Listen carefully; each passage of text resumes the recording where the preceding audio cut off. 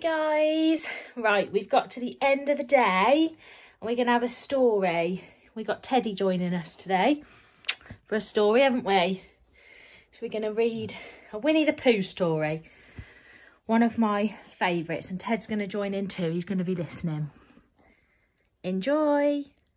The Great Heffalump Hunt.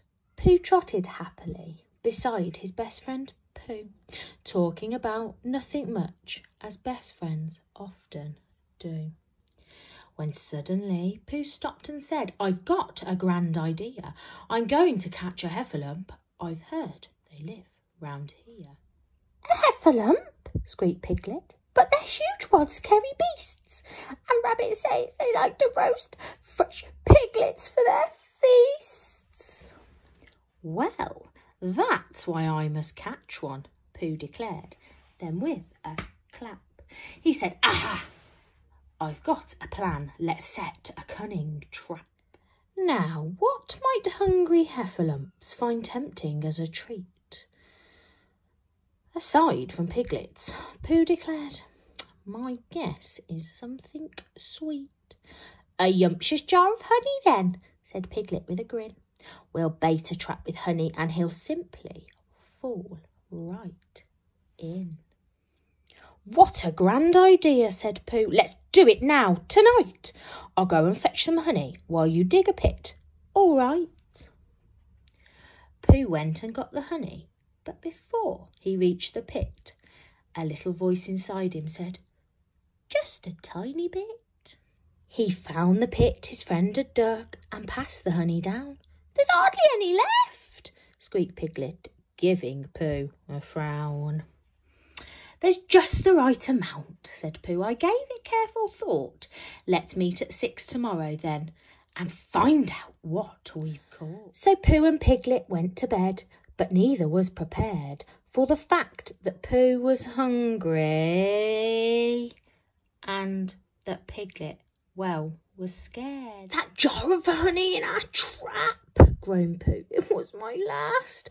Oh, bother, double bother, and if no one's listening, blast!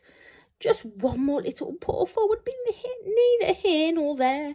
A heffalump who's hungry wouldn't notice, wouldn't care. So he set off through the forest with the moonlight overhead. And at that moment, Piglet sat up wide awake in bed. That horrid hairy heifer heffalump. He might not like Pooh's honey. Oh, what if all he wants is juicy piglets in his tummy?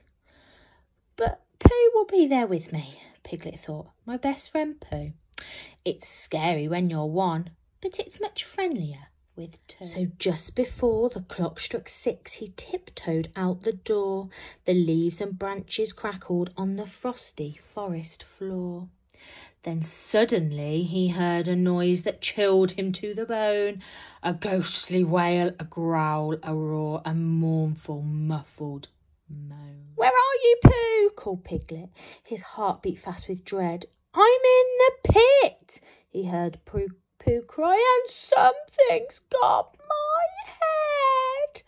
Heffalump, squeaked Piglet. It's in the pit with Pooh, and I'm too small to help him. Oh, there's nothing I can do. But something in his little soul prevented him from running, and Piglet's voice rose clear and strong. Hold on, Pooh Bear, I'm coming. As fast as he could scamper, Piglet hurried to the pit, then bravely scrambled to the edge and peered down into it. A heffalump! It's got him and it's shaking him about! And all that Piglet saw was poor bottom sticking out. He summoned all his strength and smacked the monster on the head. Take that, you naughty heffalump! Now let Pooh go, he said. Then Piglet gave one final heave, and with a squelching sound, out popped Pooh completely and collapsed onto the ground. The heffalump! It's vanished, Piglet said. Won't get far. But there in Piglet's arms, poor Pooh saw an empty honey jar. The heffalump, said Pooh. Um, yes, I'm pretty sure he's gone. I thought I saw him too, but Piglet, maybe we were wrong. You see, I got quite hungry when I went to have my nap, but the only snack I knew of was the one inside this trap. I took a lick, my head got stuck.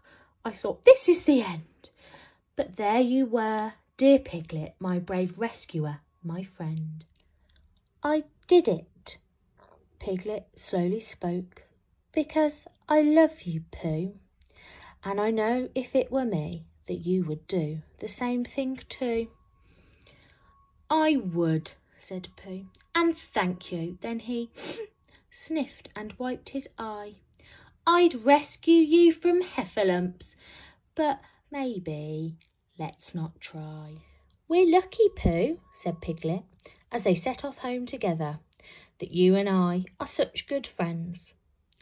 Best friends, said Pooh, forever.